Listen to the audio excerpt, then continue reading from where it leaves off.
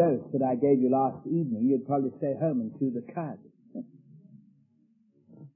but uh, great to see you, and I appreciate on a blustery night that you have come to join with me as we explore together again in the Word of God.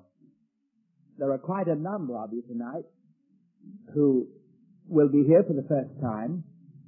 So just this uh, very brief word of recapitulation to bring you into the picture.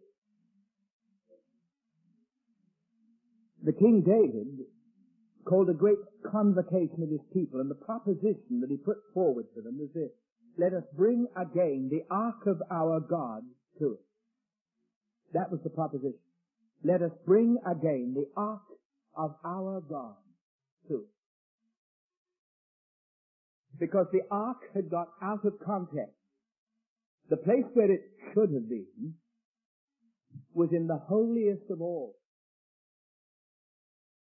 behind the second veil and beneath the mercy seat that once a year was sprinkled with blood in anticipation of that redemptive transaction of which it was the foreshadowing when the Lord Jesus, the incarnate word, would give his life upon the cross, a ransom for many, to reconcile us to a holy God. And the ark with its contents some of which we're going to examine tonight, represented God's covenant, God's pledge to his people.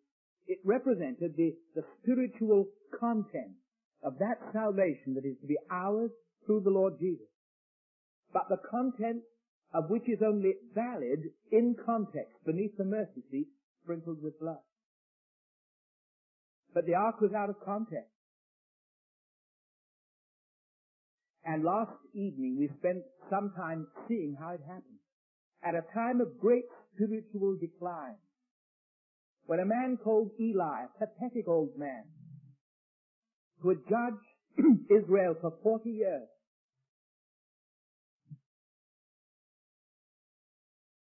settled for something less than God's best.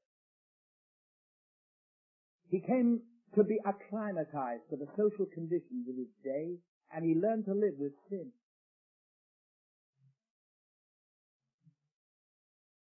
Ritual had taken the place of reality, and token obedience had taken the place of total obedience. The priesthood was in a state of apostasy. And because ritual had taken the place of reality and token obedience had taken the place of total obedience, the ark with its contents had taken the place of God himself. And it became the object of their idolatry. And it fell into the hands of their enemies. And Eli, as we saw last evening, when his sons slain and the good, the bad news came to him that the, the ark of God's covenant was in the hands of those who were God's and their enemies, fell backwards off his bench and died of a broken neck just before he could die of a broken heart. And the ark of God finally found its place in the house of Abinadab in Kirjath Jearim. And there it remained. and during the reign of King Saul, the first of the kings, who superseded the judges, David says, we never inquired of it. Because you see, the ark was to be in the holiest of all, where God would meet his people, and by his presence fill his temple with glory. It was to be the place not where they came to it, but where they worshipped and communed with him. And there had been aroused within the heart of King David a holy ambition to get the ark back to where it belonged. That once more in context they might meet with their living God in the place where he would once more speak and commune with his people. Now, that, that's the background of the story. now, the content of the ark. How is it that its contents represented the spiritual content of that salvation that God has provided for you and for me in the person of His Son, the Lord Jesus, who is the Lamb slain from the foundation of the world, was to shed His blood as the Savior foreshadowed by the sprinkling of the blood by the high priest once a year upon the mercy seat in the holiest of all. So will you turn with me to the uh, ninth chapter of the Epistle to the Hebrews? The Epistle to the Hebrews and chapter 9. and here the apostle says in the second verse of chapter 9, there was a tabernacle made, the first wherein was the candlestick and the table and the showbread, which is called the sanctuary. and after the second veil, the tabernacle, which is called the holiest of all. Now you get the picture. There were two tabernacles. The first was called the sanctuary, and the second was called the holiest of all, the holy of holies. And there was a veil between the two. And just to remind you, it was this veil that forbade entrance into the holiest of all that was rent in twain, ripped in two, from the bottom to the top. When the Lord Jesus accomplished his redemptive work in that he died for you and for me and rose again from the dead. And that, of course, was gloriously symbolic of the fact that when the Lord Jesus, in the sinlessness of his humanity, died upon the cross and paid the price of our redemption, the door was flung wide into the presence of the Holy God for every boy, for every girl, for every man, for every woman who pleading his name received forgiveness and would be accepted by a holy God as one cleansed in his blood and clothed with his righteousness. Beautiful picture that God gives. And that's why this veil was actually ripped in two at the time that the Lord Jesus rose.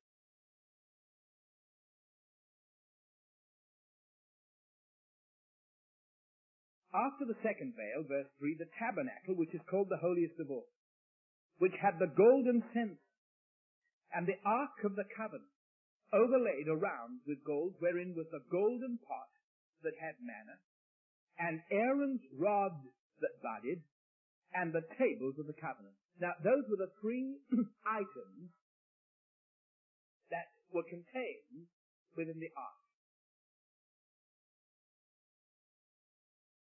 the golden pot that had manna, Aaron's rod that budded, and the tables of the covenant, those two things. And over it, verse 5, the cherubims of glory shadowing the mercy seat. because the content, the golden pot with manna, Aaron's rod which budded, and the tables of the covenant, and all that symbolically they represented, all this was valid only in context, beneath the mercy seat, sprinkled with blood in the holiest of all. Its fulfillment to await the coming of the Lord Jesus as the one whom some of us this morning reminded ourselves was the seed promised to faithful Abraham when God preached before the gospel to his faithful servant Abraham, saying, In thy seed shall all the families of the earth be blessed. And in the meantime, all this that was pictured so beautifully in the temple was a foreshadowing of his coming. When these things were thus ordained, verse 6, the priests went always into the first tabernacle, accomplishing the service of God. But into the second, the holiest of all, went the high priest alone, once every year, and not without blood, which he offered for himself for the errors of the people. Because you see, he too was a sinner. The high priest who was allowed on pain of death only to go into the holiest of all once a year first had to offer blood for himself and then for the errors of his people.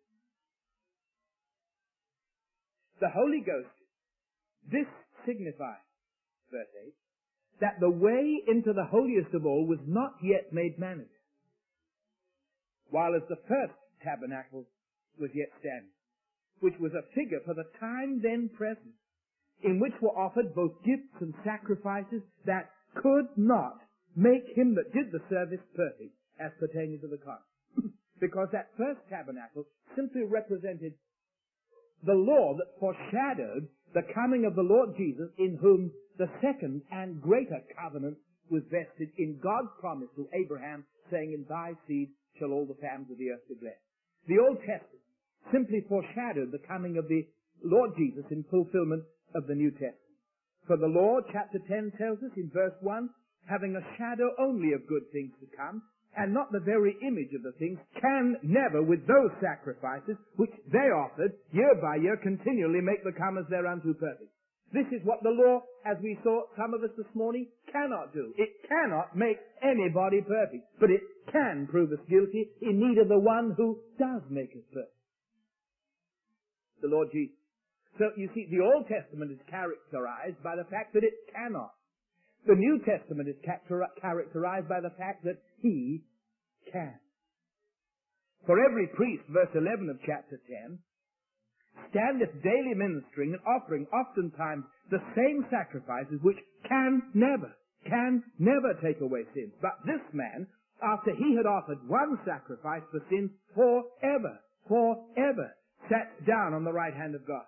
From henceforth expecting till his enemies be made his footstool, for by one offering he hath perfected forever them that are sanctified. So the Old Testament is characterized by can, never, and the offering that the Lord Jesus brought is characterized by the fact that it forever sanctifies them who claim redemption through the blood he shed. Because Christ, verse 24 of chapter 9, is not entered into the holy places made with hands, which are only the figures, the pictures, the symbols of the true, but into heaven itself, now to appear in the presence of God for us.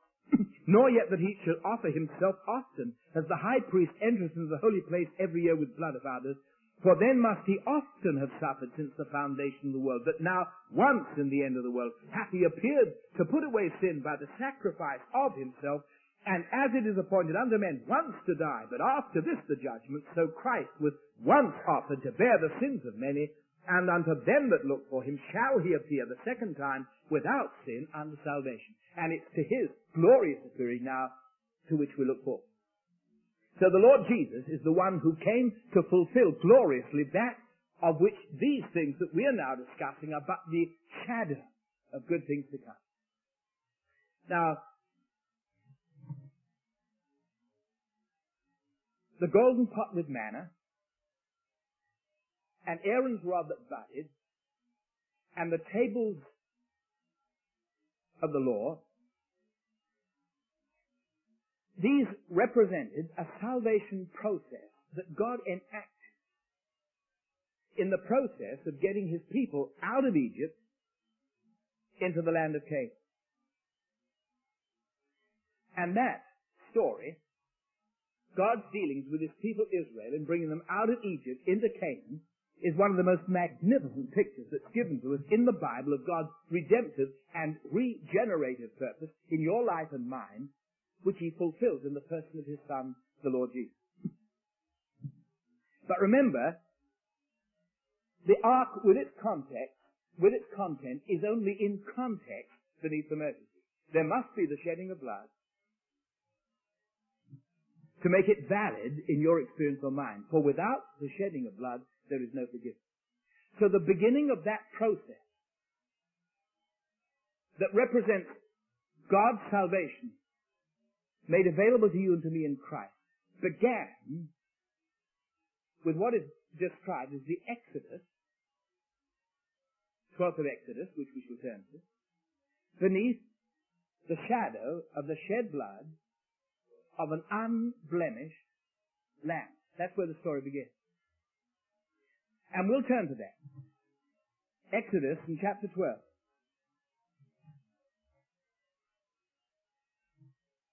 The Lord spake unto Moses and to Aaron in the land of Egypt, saying, This month shall be unto you the beginning of months. It shall be the first month of the year to you. In other words, something is going to happen this month which will be so significant that it'll be as though you had never lived before. It's going to be the beginning of months, and it will become the first month of the year. now, this is precisely what God says about that personal encounter with the Lord Jesus that we call redemption.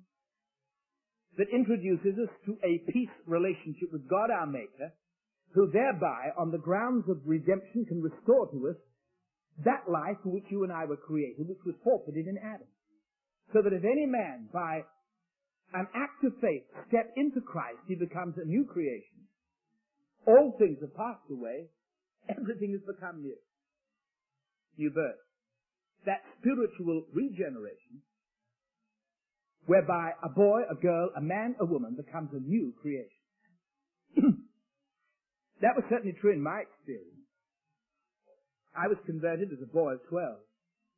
But quite frankly, as I look back now, I can hardly remember anything that happened to me before the age of 12.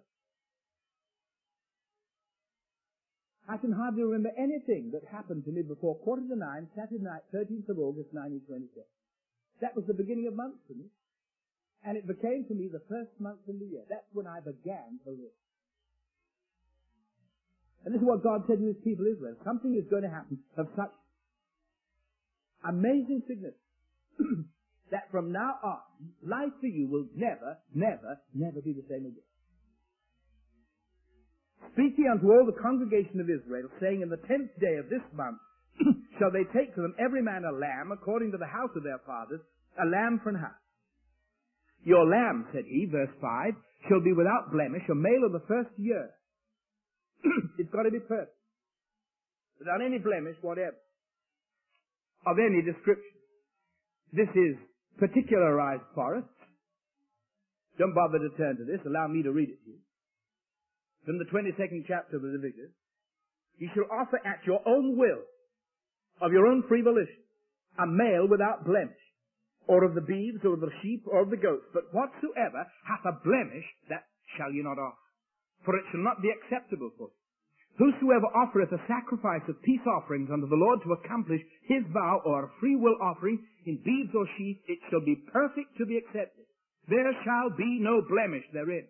Blind or broken or maimed or having a wen or scurvy or scab, you shall not offer these unto the Lord, nor make an offering by fire of them upon the altar unto the Lord. You shall not offer unto the Lord that which is bruised or crushed or broken or cut neither shall you make any offering thereof in your land. It must be perfect. I don't have to tell you that this pictured the coming of the Lord Jesus as the incarnate Word of whom the Father could look down from heaven and say, This is my beloved Son, in whom I am well pleased. For God made him to be sin for us who knew no sin. He suffered the just without blemish for the unjust, that he might bring us to God. The lamb shall be without blemish, a male of the first year, and you will keep it until the fourteenth day of the same month, and the whole assembly of the congregation of Israel shall kill it in the evening.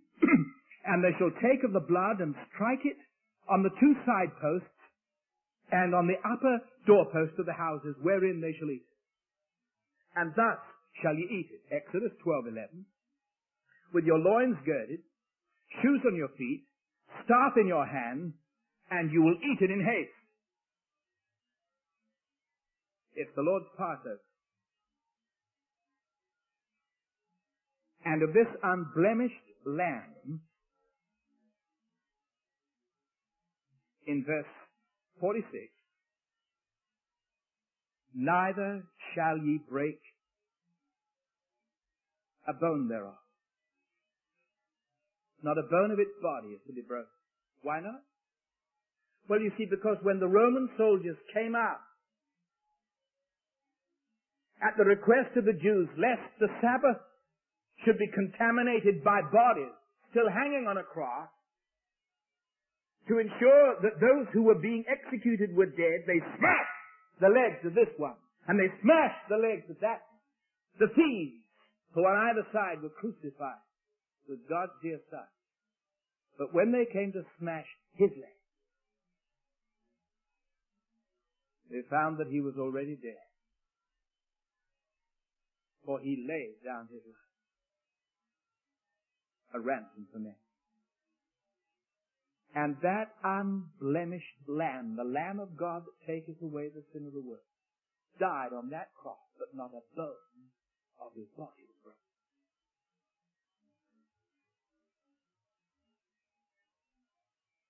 And it was to be eaten by them with their loins girded, with shoes on their feet and a staff in their hand.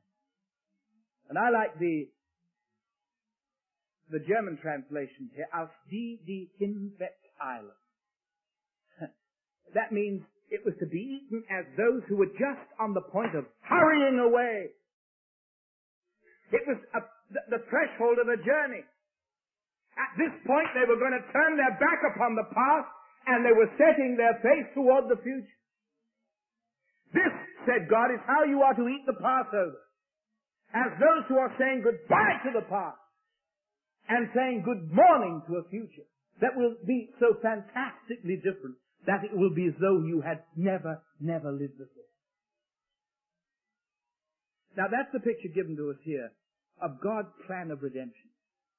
That when you and I enter into a faithful relationship with the Lord Jesus and come to Him as the one who is the Lamb of God, laid down His life and shed His precious blood that our hearts might be cleansed from sin, it is as those who are embarking upon a journey who say goodbye to the past and who say good morning to the future. As those who have become new creatures in Christ Jesus and for whom life now can never, never be the same again. And I will pass through the land of Egypt, God said this night. And I will smite all the firstborn of the land of Egypt, both man and beast. And against all the gods of Egypt I will execute judgment. I am the Lord, and the blood shall be for you a token upon the houses where you are. And when I see the blood, I will pass over you. And the plague shall not be upon you to destroy you when I smite the land of Egypt. In other words, the blood is going to protect you and when my judgment rests upon this land, those who are beneath the sprinkled blood, painted upon the doorposts and the lintels, will be preserved. I will pass over. And God says of those who claim redemption through the blood of Christ and by faith paint his blood upon the doorposts and the lintels of their hearts, I will remember your sins no more. I have blotted them out as a thick cloud. Though your sins were as scarlet, they will be white as snow, though red like crimson, whiter than wool. Accept. Accept in the beloved. That's redemption. And that's where the Christian life begins. Has it begun to you? Can you remember the day when, conscious of the fact that you are a sinner, you humbly said, Thank you, Lord Jesus, for dying for me. Thank you for the blood that was shed as of a lamb without blemish in that day when dying on a cross, not a bone of your body was broken but they pierced your side and press a crown of thorns upon your brow. Thank you, Lord Jesus. I'm stepping out into a future at peace with God my Maker. Knowing now that I have boldness of access into that holiest of all through the blood of Jesus. Because by the breaking of his body, the veil of the temple has been rent into.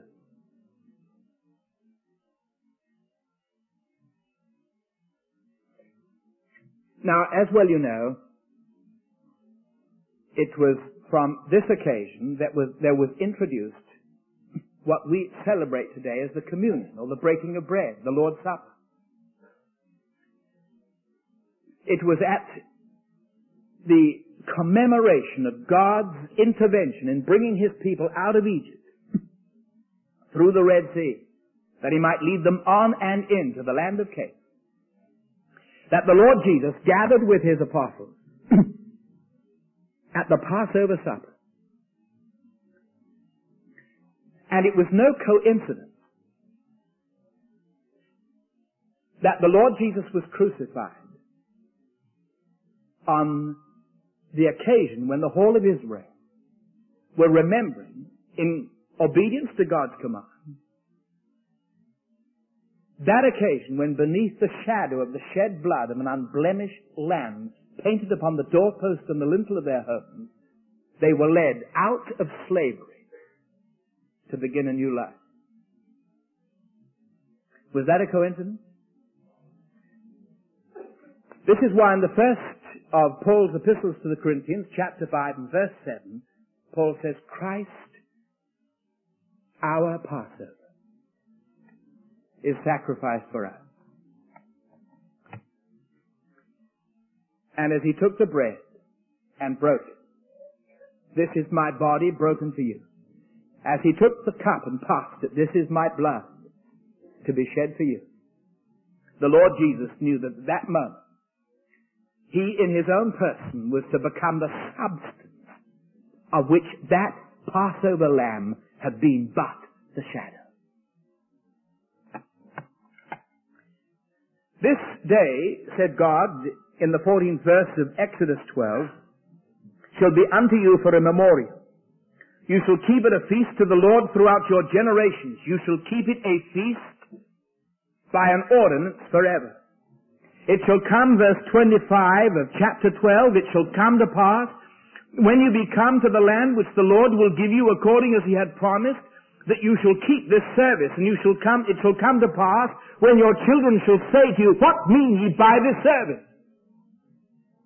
That you will say it is the sacrifice of the Lord's Passover, who passed over the houses of the children of Israel in Egypt when he smote the Egyptians and delivered our houses.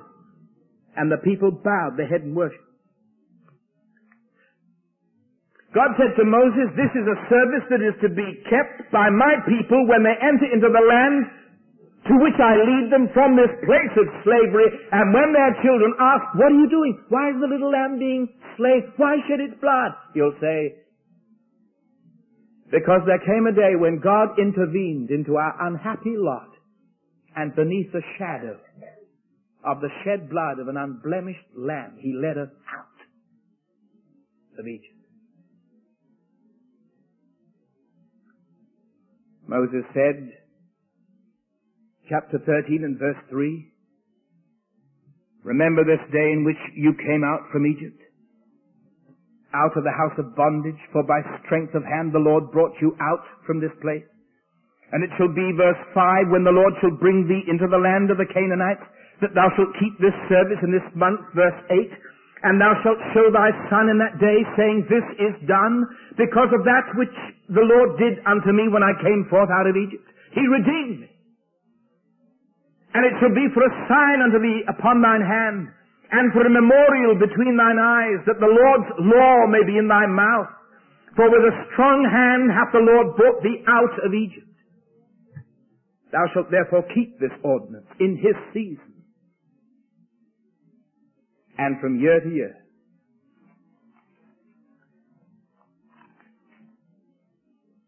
It shall be for a sign unto thee upon thine hand it shall be for a memorial between thine eyes.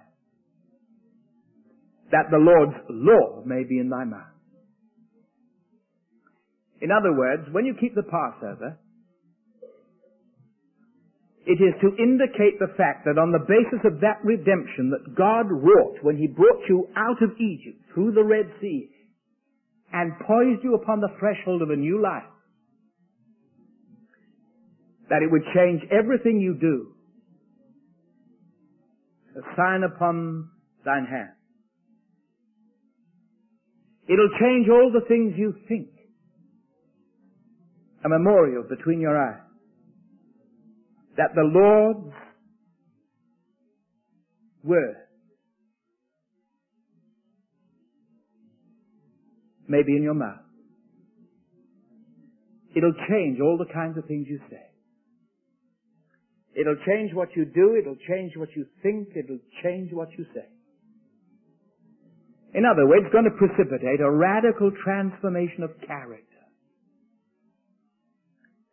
Now, this was the purpose that God had in mind when He brought His people out.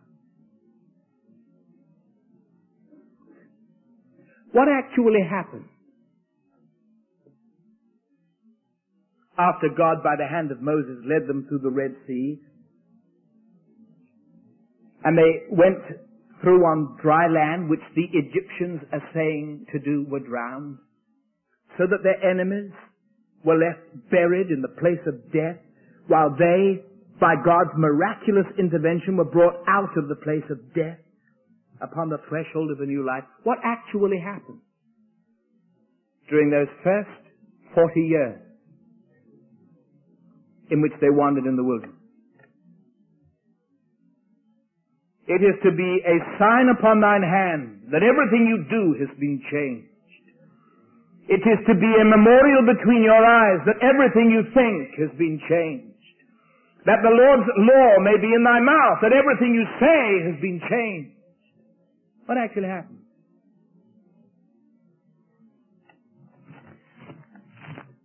Well, if you turn to the book of Deuteronomy in chapter 12,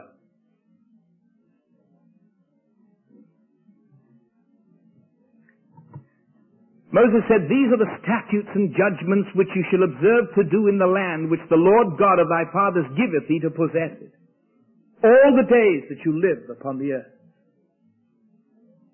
There, verse 7 of chapter 12 in the book of Deuteronomy, you will eat before the Lord your God, and you will rejoice in all that you put your hand unto. You and your households wherein the Lord thy God hath blessed thee.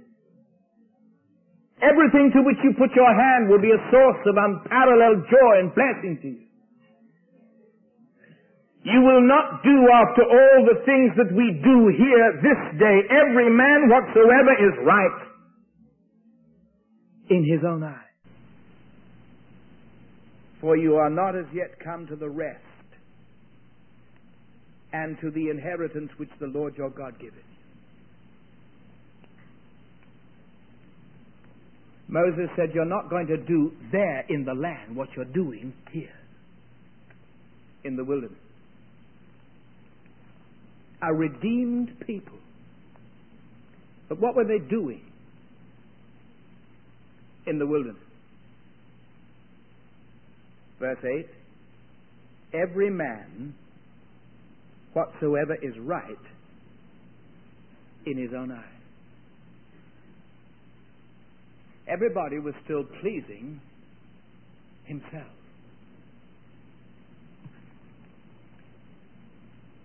Because Moses said, You haven't yet entered into that rest for which God redeemed. So we have a redeemed people who have come out, but who have not yet got in. And it hasn't changed what they're doing. Because every man still does what is right in his own eyes. He claims the right to exercise jurisdiction over his own life. That was the first thing they did in the wilderness. They did as they pleased. Since you became a Christian, since you claimed redemption through the shed blood of Christ, since you made your profession of faith,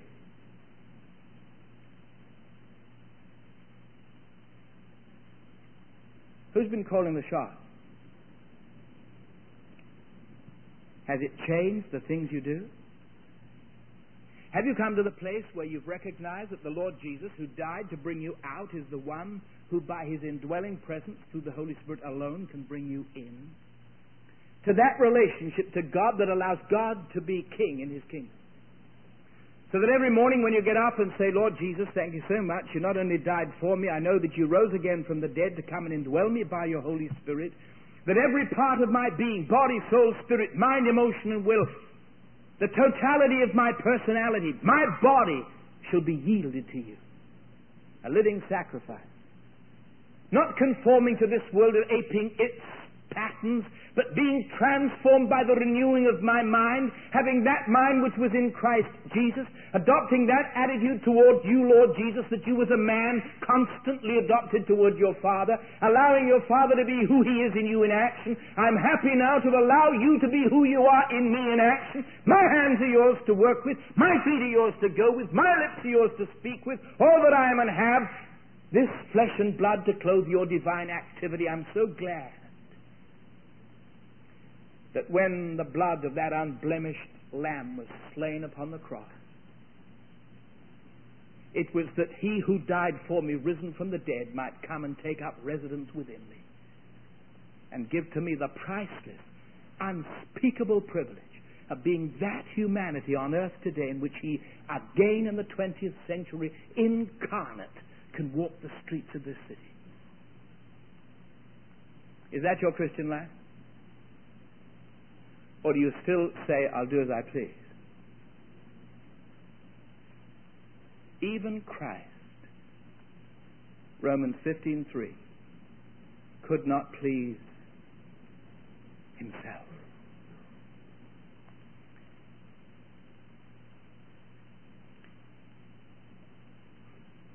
What were they doing in the wilderness? Pleasing themselves. What were they thinking about in the wilderness? Well, in the 11th chapter of the book of Numbers, it says in the fourth verse that the mixed multitude that was among them fell a lusting. And the children of Israel also wept again and said, Who shall give us flesh to eat? We remember the fish which we did eat in Egypt freely, the cucumbers and the melons and the leeks and the onions and the garlic. But now our soul is dried away. There is nothing at all beside this manna before our eyes. What were they thinking about in the wilderness? Egypt. We remember the fish which we did eat in Egypt freely the cucumbers and the melons and the leeks and the onions and the garlic. Strange that they should remember these things and somehow forget the lash of the Egyptian taskmaster. Strange that they should go a lusting after these things and forget that they were an enslaved people. What are they thinking about in the wilderness? They were thinking about in the wilderness as a redeemed people the things that they had left behind in Egypt.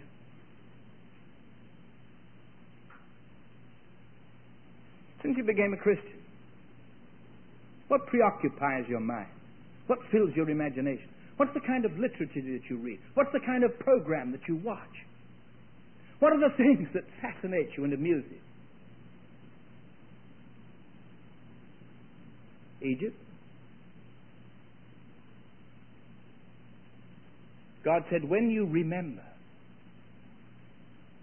as you keep the Passover, it's going to be a sign upon your hand that everything that you do has changed. It's going to be a memorial between your eyes that your thoughts and your mind and your imagination, the things you think about, have been completely changed. Quite frankly, since you became a Christian, have you lost an appetite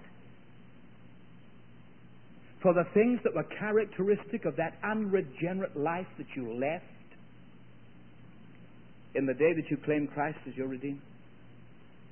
Or quite frankly, is your salvation simply a date on a calendar? All that you can say about your conversion is that such and such a day, yes, I walked the aisle, or I put my hand up, or I knelt by my bedside, or I counseled with a man, and I received Christ in my. Quite frankly, that's all you can say about your Christian life. If I were to ask you, are you saved? That's really what you would understand me asking you. Have I made a decision for Jesus? And that's the content of your salvation. Just a date on a calendar, a decision that you made.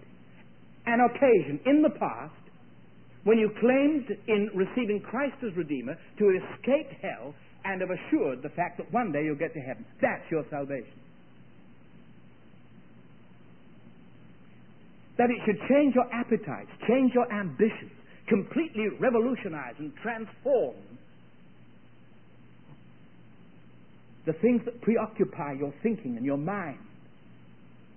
Never dawned upon you.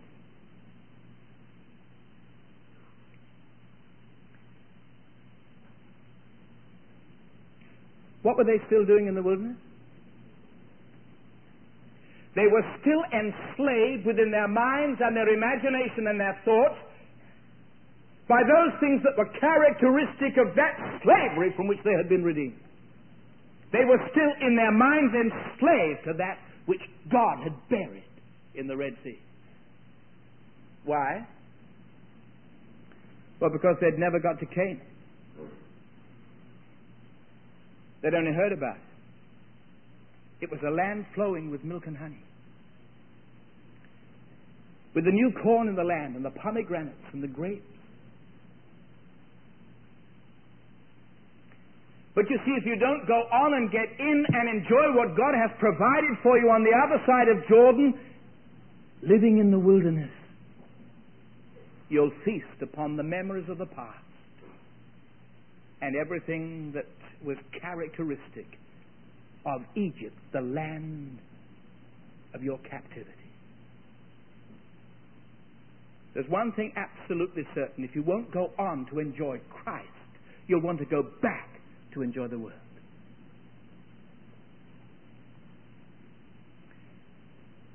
What were they doing? Pleasing themselves.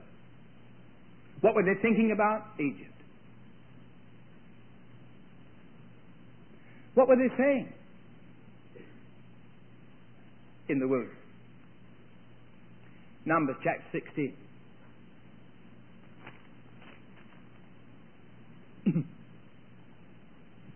Sixteenth chapter of Numbers. Now Korah, the son of Izhar, the son of Kohath, and a few other folk, and Dathan and Abiram and On they, verse 2, rose up before Moses with certain of the children of Israel, 250 princes of the assembly, famous in the congregation, men of renown. I want you to notice that. These who were named were identified with 250 princes of the assembly, famous in the congregation, men of renown. In other words, those whose names made news. Those who held office those who considered themselves to be of some personality and influence.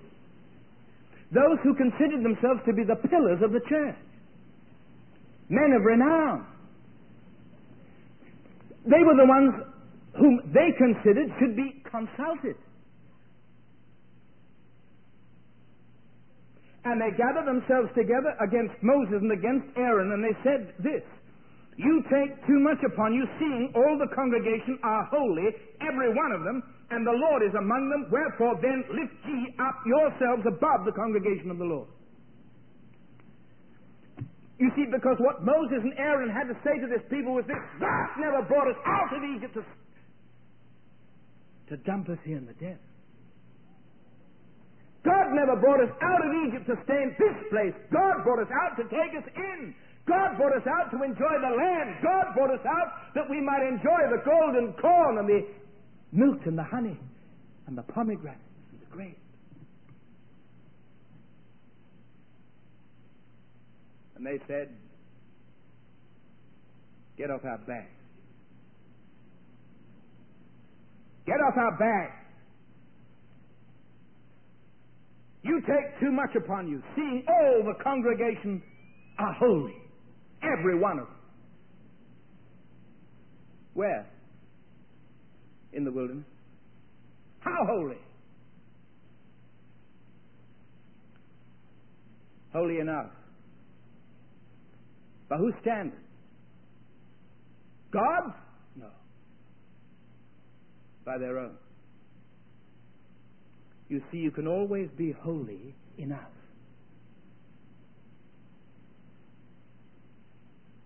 By your own standard. And by and large, as evangelical Christians, we have settled for the standard. You attend church once a time.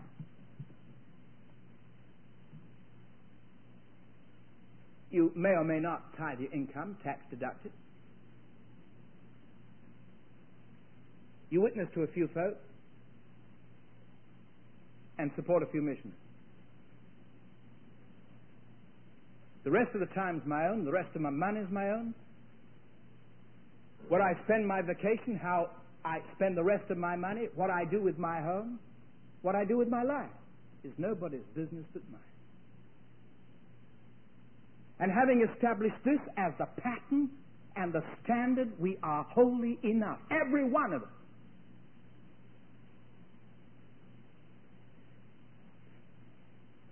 How many members of churches that would claim to be redeemed, saved, have it settled for once a week in church? And would feel almost entitled to launch a, a libel suit if you were to suggest that they were less than holy enough. What were they saying in the wilderness? What were they saying in the wilderness? These who worship the golden calf and whom Moses found half naked and half drunken. As the tables of stone were shattered at his feet. Do you know what they were saying? We're holy enough, every one of us. Get off our back in the wilderness. Say, excuse me, may I ask you, how holy are you? You holy enough? By whose standard?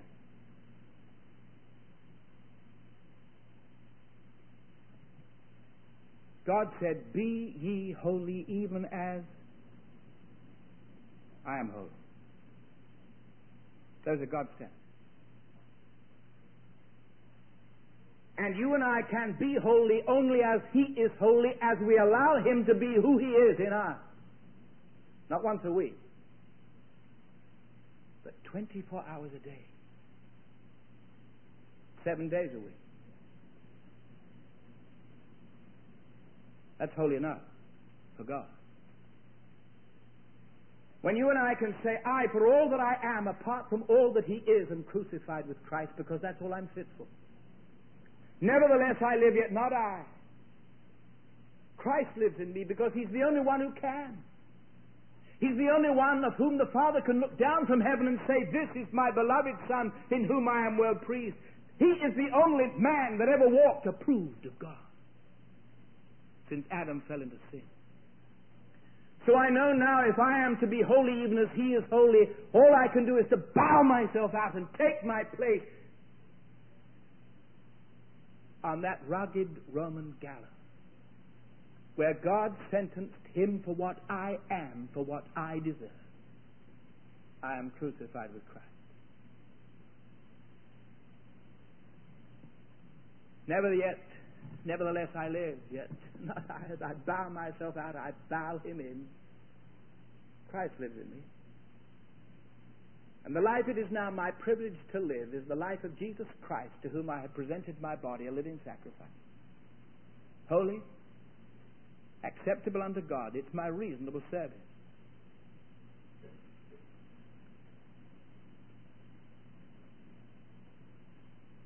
He's the only one who can. So he is the only one who must.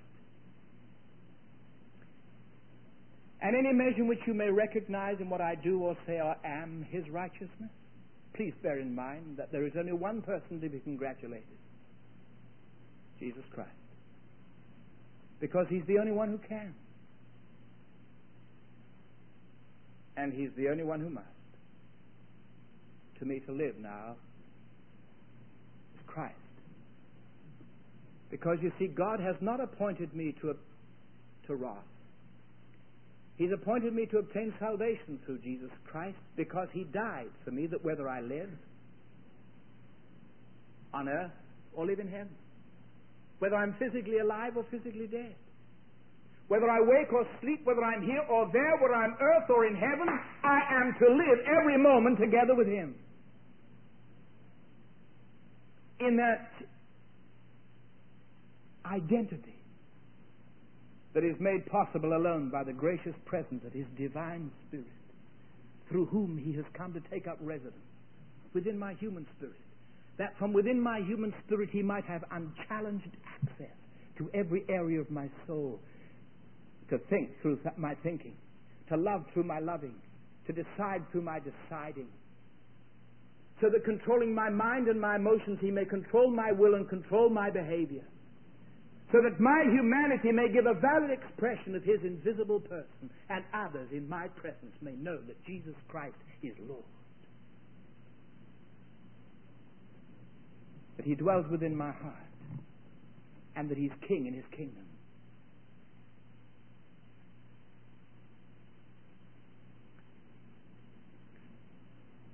That's holy enough for God when your holiness is Christ Himself, who of God is made unto us wisdom, righteousness, sanctification, and redemption.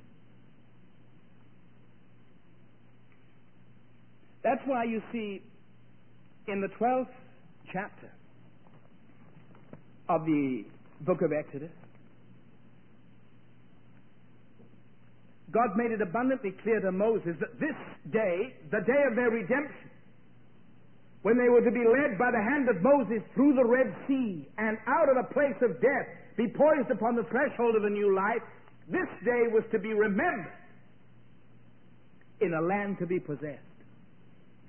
It was a not, it was not a day that they could legitimately remember in the wilderness. And in point of fact, after the second year, the Passover was not celebrated for 38 years until finally, by the hand of Joshua, they were led through the Jordan. And at last, with their feet in the land, for the first time in 38 years, they celebrated the Passover and had the right to remember. What for 38 years they'd forgotten. That redemption is calculated not just to get a man out of hell and into heaven, it's calculated to get God out of heaven into a man. That he may be king in his kingdom.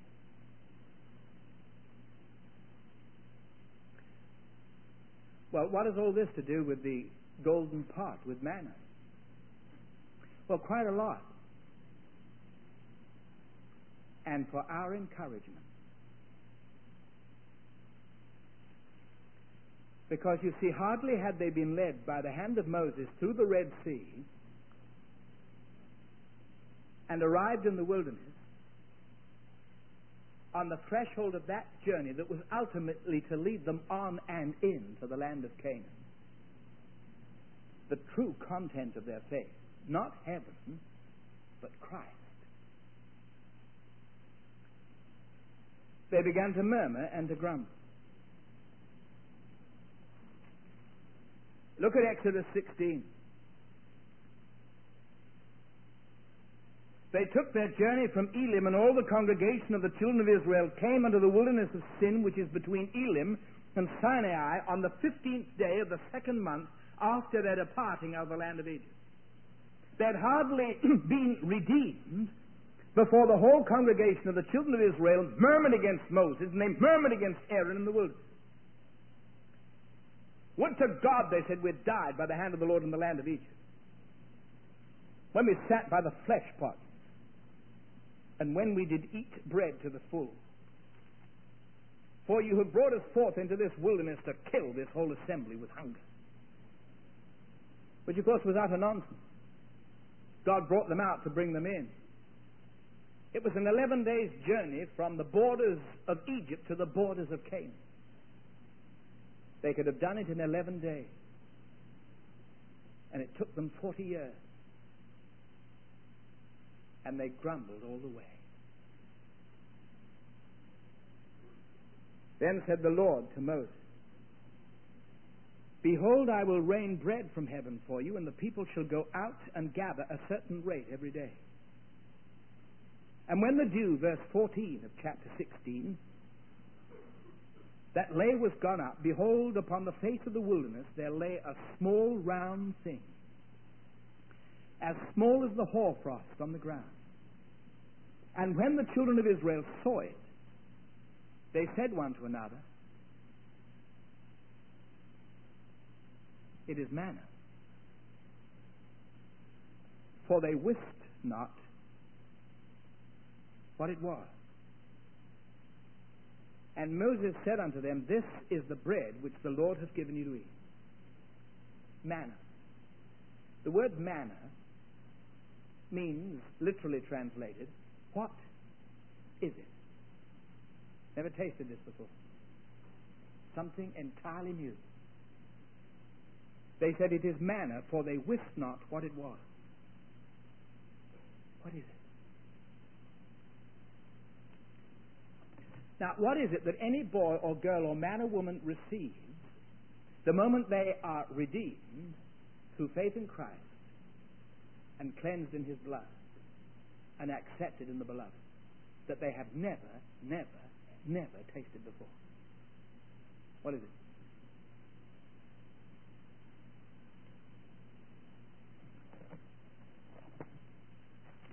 If you want the answer, you'll find it in the 14th of John.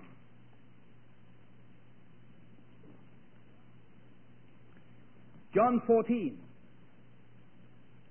Said the Lord Jesus, Verily, verily, I say unto you, verse 12 of John 14, He that believeth on me, the works that I do shall he do also, and greater works than these shall he do, because I am going to my Father. And I will pray the Father, verse 16, and he shall give you another comforter, that he may abide with you forever. Even the Spirit of truth, whom the world cannot receive, because it seeth him not, neither knoweth him. You know him. For he dwelleth with you, and he shall be in you. I will not leave you comfortless. I will come to you. The Holy Spirit is that which the world cannot receive. It sees him not and knows him not. The presence of the Holy Spirit, the experience of His indwelling, is open only to those who've claimed redemption in the blood of Christ. No boy, girl, man, or woman ever born into this world or ever yet to be born will ever or can ever receive or experience the presence of God the Holy Spirit unless they first have been redeemed through the blood of Christ. But the first thing that happens when any boy, girl, man, or woman convicted of their sin in humble repentance toward God puts their faith in Jesus Christ is that instantly they receive what only God can give life. And that life is imparted by the gift to them of the one who was forfeited in Adam when he fell into sin, the Holy Spirit. So if you turn to the Ephesian epistle in chapter 1, Ephesians in chapter 1, And the sixth verse, to the praise of the glory of God's grace, wherein he hath made us accepted in the beloved. And this, of course, is written by the apostle to those who have already entered into a redemptive relationship with Jesus Christ. They have been converted. They are genuinely redeemed. And of such, the apostle says, we have been made accepted in the beloved. We have been credited with the righteousness of Jesus Christ, and the Father God accepts us as those who, washed in His blood, now have boldness of access into the holiest of all, for we enter through the veil of the temple that has been rent from top to bottom.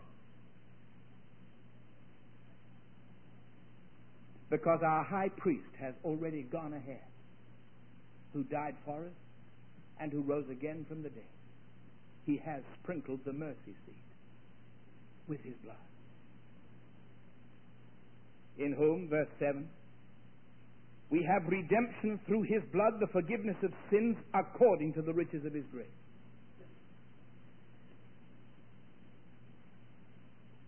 The Lamb that was slain. In whom you also trusted, verse 13, after that you heard the word of truth, the gospel of your salvation. First of all, you had to hear clearly enunciated God's terms upon which he, as a holy God, would be prepared to receive back to himself a guilty sinner. And when you heard the word of salvation, you believed, Paul says.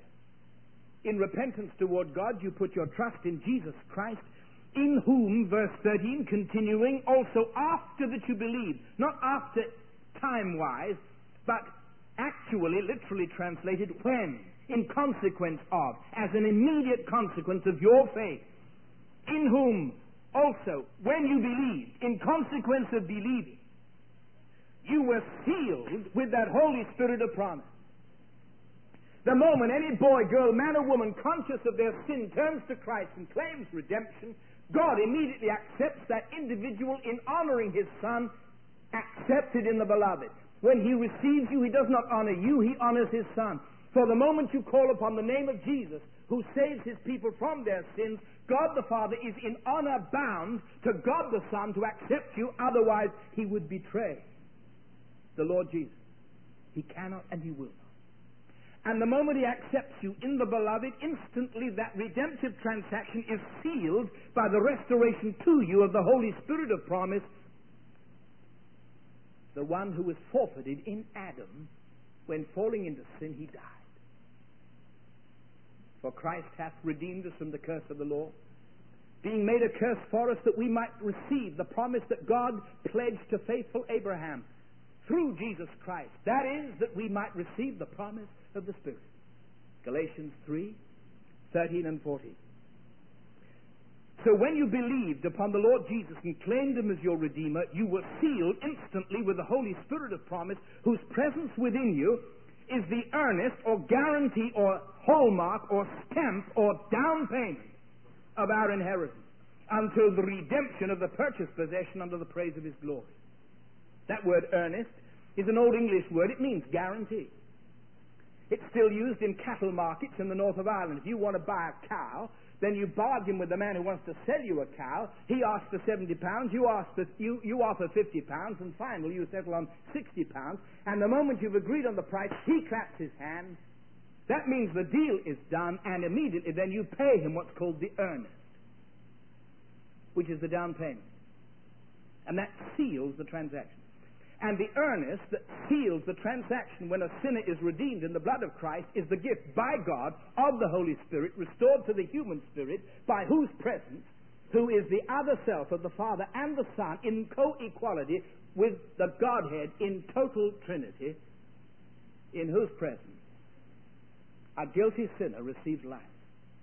The life of God restored to the soul of man by the presence of the Holy Spirit restored to the human spirit. And the manna in the golden pot is a picture of the gift by God of the Holy Spirit to every boy, girl, man, or woman who has been redeemed in the blood of Jesus. See, by the Holy Spirit. If you have never received the Holy Spirit, you are not yet a Christian, period. If you have never received the Holy Spirit, you are none of His.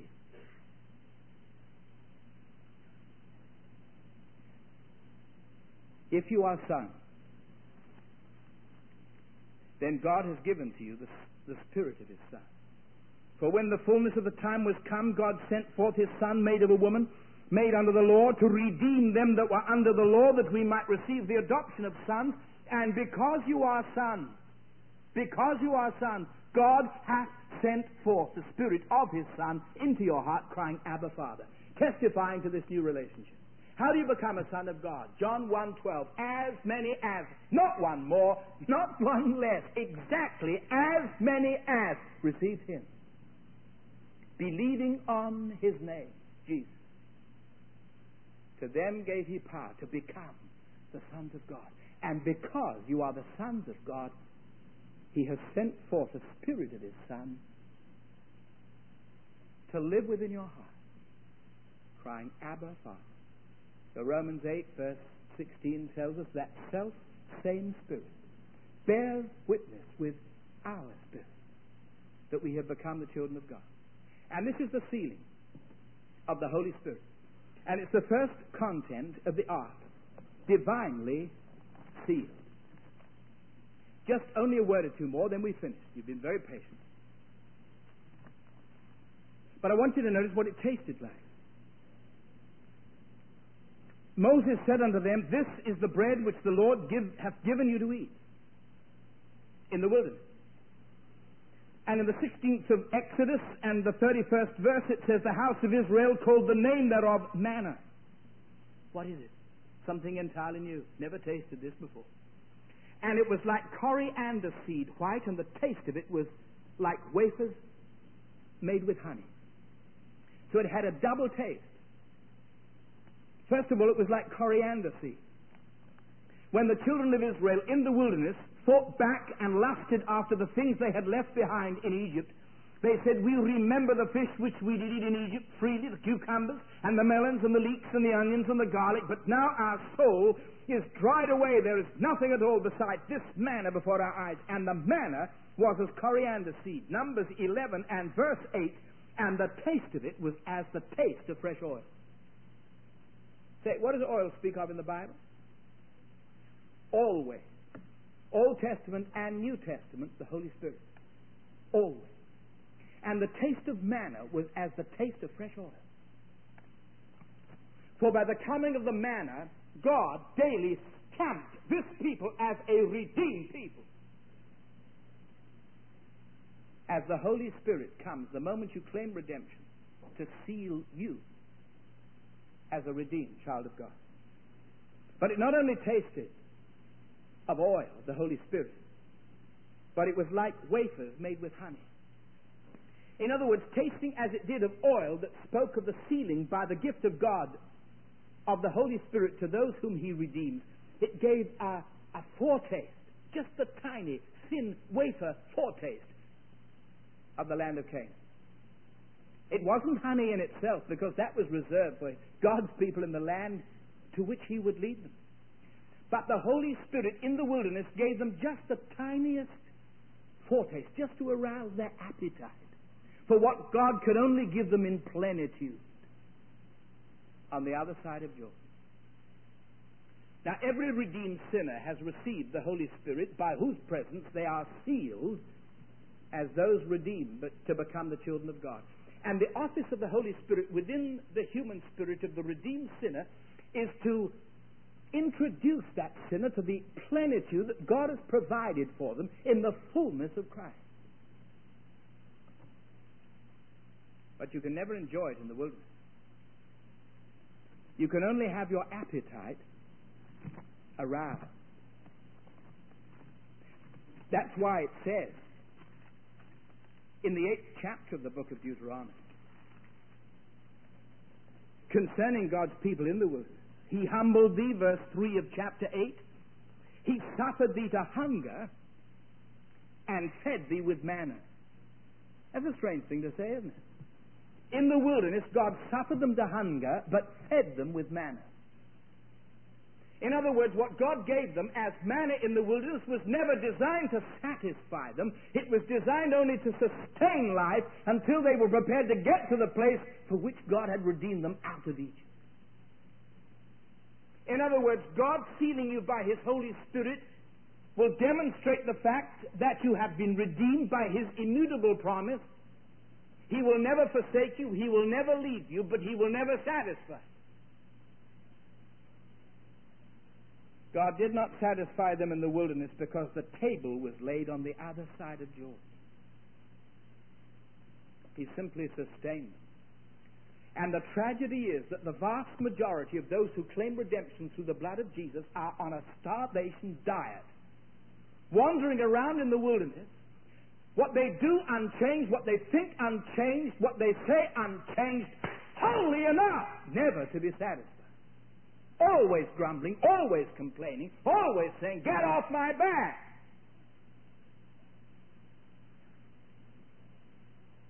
Because God refuses to satisfy his people in the wilderness. He simply sustains until they get into the place where they belong. Thou gavest them bread from heaven for their hunger, broughtest forth water for them out of the rock for their thirst, and promised them that they should go in to possess the land which thou hadst sworn to give them. But they and our fathers dealt proudly and hardened their necks, and they hearkened not to thy commandments. They refused to obey, neither were they mindful of thy wonders that thou didst among them. They hardened their necks in their rebellion. They appointed a captain to return to their bondage. But thou art a God ready to pardon, gracious and merciful, slow to anger, and of great kindness. And you forsook them not. Numbers chapter 9, verse 18. Yea, I beg your pardon, Nehemiah chapter 9, verse 18. Yea, when they had made them a molten calf, and said, This is thy God that brought thee up out of Egypt, and had wrought great provocations. Yet, yet thou in thy manifold mercies forsookest them not in the wilderness. The pillar of the cloud departed not from them by day to lead them in the way, neither the pillar of fire by night to show them light, and the way wherein they should go. Thou gavest also thy good spirit to instruct them, and withheldest not thy manna from their mouth and gavest them water for their thirst. Isn't that amazing? Isn't that absolutely fantastic?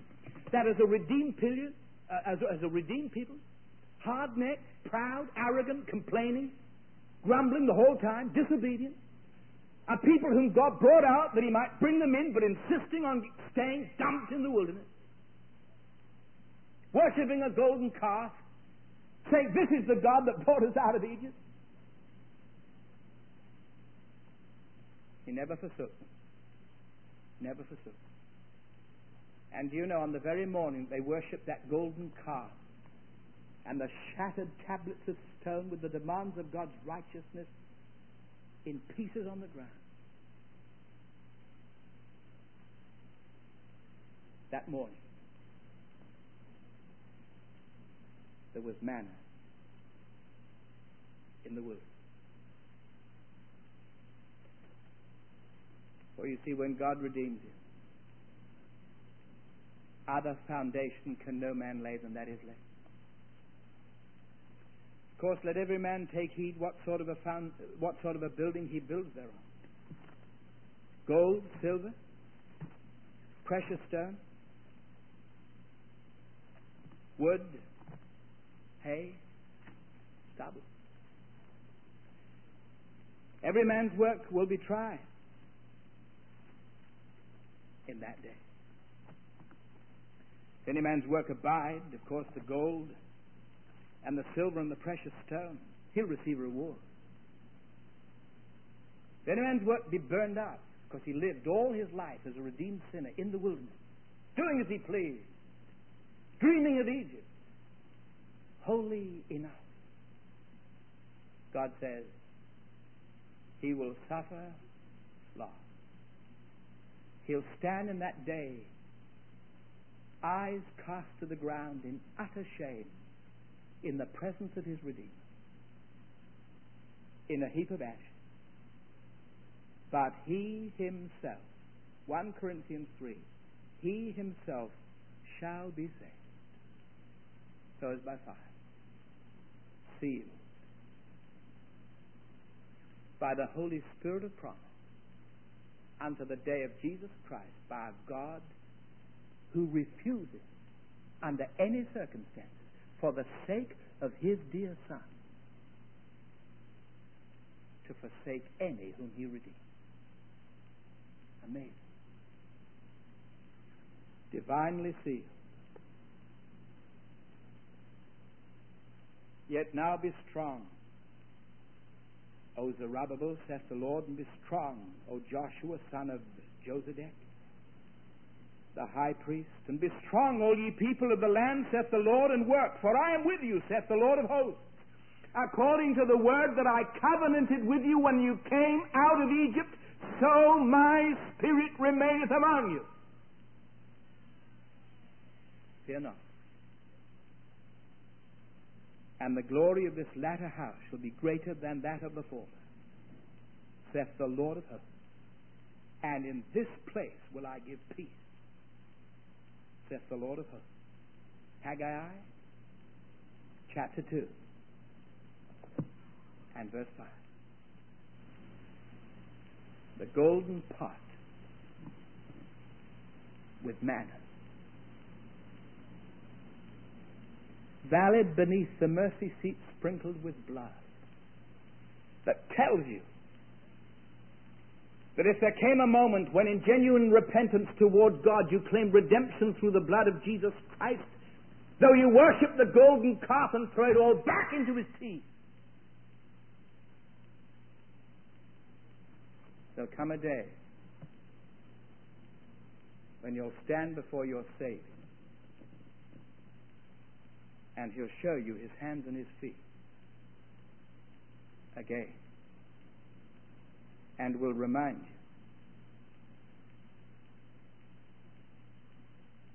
you these are the hallmarks of my Saviorhood. You asked me to redeem you, and I did. And I sealed you by my indwelling spirit.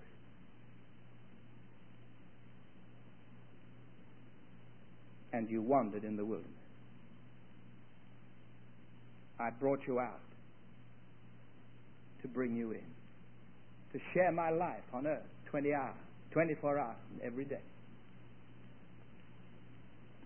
But you got stuck in the wilderness. You did as you pleased. In your heart, you still lived in Egypt. Though I pleaded with you, you were always holy enough.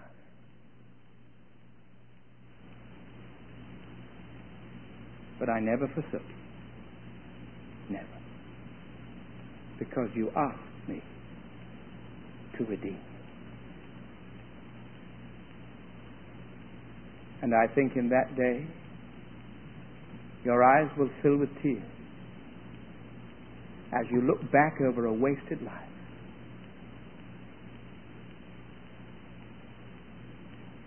And stand empty handed in the presence of a Savior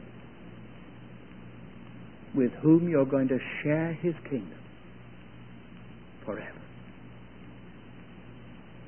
And of which place He says, I have not seen, nor ear heard, neither hath it entered into the heart of man the things which God hath prepared for them that love Him.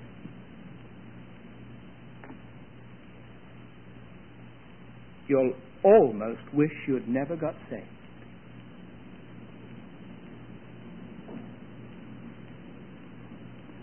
When you realize how little you deserve what He so graciously provides. It's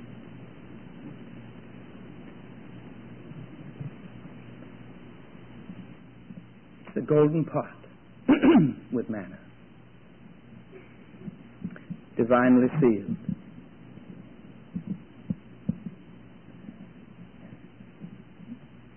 All right, let's have a word of prayer.